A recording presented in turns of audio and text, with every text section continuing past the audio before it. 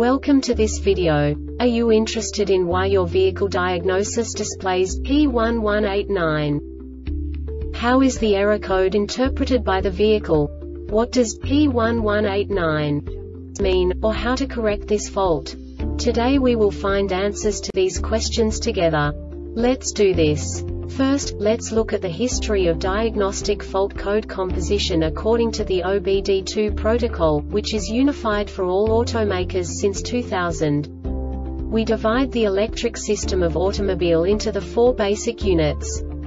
Powertrain, body, chassis, network. This distribution is defined in the first character code. If the second character is expressed as zero, it is a standardized error. In the case of numbers 1, 2, 3 it is a more prestigious expression of the car-specific error. The third character specifies a subset of errors. The distribution shown is valid only for the standardized DTC code. Only the last two characters define the specific fault of the group. Let's not forget that such a division is valid only if the other character code is expressed by the number 0. Our website airbagreset.sk produces useful videos for you. You do not have to go through the OBD2 protocol anymore to know how to troubleshoot any car breakdown. You will find all the diagnostic codes that can be diagnosed in a Chevrolet vehicles. Also many other useful things. The following demonstration will help you look into the world of software for car control units. You unbelievably can move the video a bit further. The error code is split into two bytes consisting of 16 bits. One bit is the basic unit that each computer works with. The bit has two logical states. 0, low level, 1, high level. By combining the first two bits, the basic character of the error code is expressed. The next two bits again determine the second character. The last beat styles of the first byte define the third character of the code. The second byte is composed of a combination of 8 bits. The first 4 bits determine the fourth character of the code. And the combination of the last 4 bits defines the fifth character. A single byte conceals 256 possible combinations.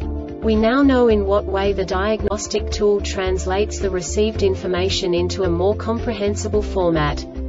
The number itself does not make sense to us if we cannot assign information about it to what it actually expresses.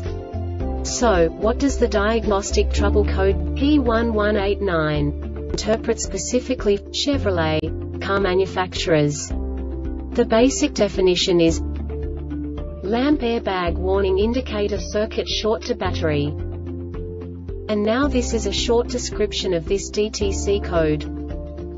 The Restraints Control Module RCM monitors the safety belt position through the safety belt buckle switch. The RCM provides the safety belt buckle status to the instrument cluster over the high-speed controller area network (HS CAN) communication bus. If the instrument cluster does not receive the safety belt buckle switch status from the RCM or the message is deemed invalid by the instrument cluster for greater than 5 seconds, the instrument cluster sets DTCU015 and defaults the safety belt warning indicator off.